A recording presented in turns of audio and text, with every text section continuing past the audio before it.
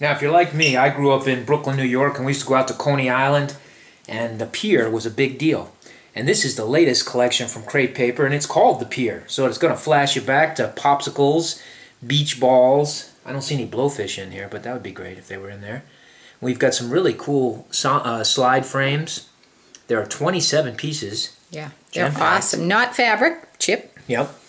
The standouts, which are the layered stickers, got a little glitter accent going on. Some delicate clothespins, gives you 13. With so what we have here in this in this there's a lot of um, gold. Yeah. Like you're going to see these have have little dots of gold. Um, the kraft with the dots of gold. I love those letters. Yeah, little flourish on there, and I like those letter embellishments up top. Simple but nice. All kinds of creative ways you can use those. There's 58 characters in there. And they're heavy. They're not mm -hmm. really thin. And we've got some complimentary Tim Holtz Distress Stain and Glimmer Mist. You'll find in the new news section. You might want to add. Uh, they're already select, selected to coordinate with the collection. 48 pieces, plus in here there's some sequins hiding. Everything's hiding. Ooh, yeah. jam-packed. It's like a surprise. There is a big wide ribbon here from Webster's, Webster's, Pages and some flowers you might consider. From Prima. Yep. We've got accent stickers, which gives you tabs, and I like that little doily effect there. That's mm -hmm. nice. And, and, again, we have the gold letters. Yeah, gold foil moving mm -hmm. in there.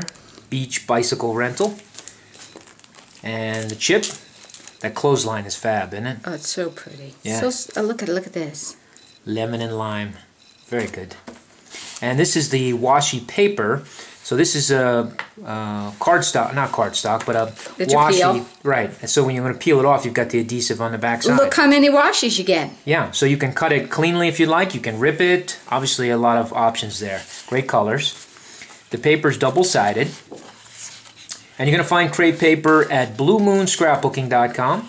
We'd love for you to stop in and shop with us.